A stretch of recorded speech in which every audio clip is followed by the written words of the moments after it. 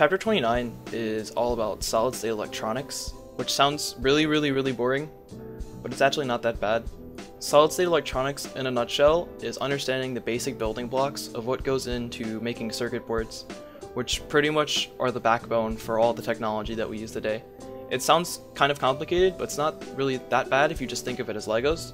You have your basic small pieces that you use to make more complex pieces, or like different parts of a set, and once you've completed building all the parts of the set, you assemble those parts together to make the complete set.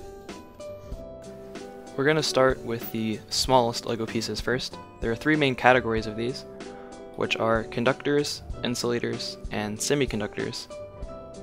And each of these three categories all behave in different manners, and to really understand why that is, we would have to look at their band theory diagrams. And band theory diagrams are essentially a method of showing a solid's electrical properties using visuals. And to actually be able to carry electricity, electrons have to possess enough energy to essentially jump the gap between the two layers in the diagram. If you look at the diagram for conductors, the gap is pretty much non-existent, and this allows electrons to flow freely through them. In insulators, however, the gap is rather large, so that would mean that it would require a lot of energy for electrons to be able to clear that jump. And somewhere in between the two, uh, there are semiconductors. And semiconductors, the gap is pretty small, so electrons really only require a little nudge to get across, and there are actually two categories of semiconductors. Substances that are semiconductors naturally and are considered pure semiconductors are called intrinsic semiconductors, and some examples of those are like silicon or germanium. And even though they have a lesser gap than insulators, they're still not efficient enough to make anything of practical use. The second category of semiconductors are extrinsic or doped semiconductors. They're created by introducing semiconductors to dopants, which are substances that boost the overall effectiveness of semiconductors. There are actually two types of extrinsic semiconductors as well. These two categories are N-type and P-type semiconductors. An N-type semiconductor is a semiconductor that is exposed to an electron donor, such as arsenic, which creates an excess of electrons that want to move to holes.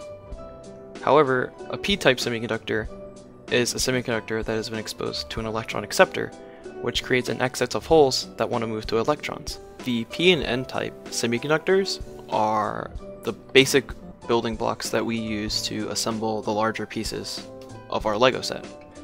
Um, two examples of larger pieces would be diodes and transistors, and I could go super in depth on how diodes and transistors work, but I really don't want this video to be 20 minutes long.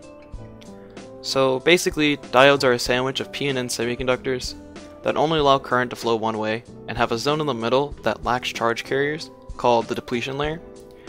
And transistors are devices made of a combination of PNP or NPN semiconductors that are capable of amplifying current and converting electricity from alternating current to direct current. The last piece in our LEGO analogy would be the complete set, which would be a microchip. And a microchip is an arrangement of billions of diodes, transistors, resistors, and conductors that are arranged in logic gates to perform tasks. That about wraps it up. Uh, solid state electronics is nothing more than playing with Legos. Really, really, really small Legos that carry electricity and can only be made through complex chemical procedures that require pure crystalline materials and have billions of pieces in a single set. So, yeah, Legos.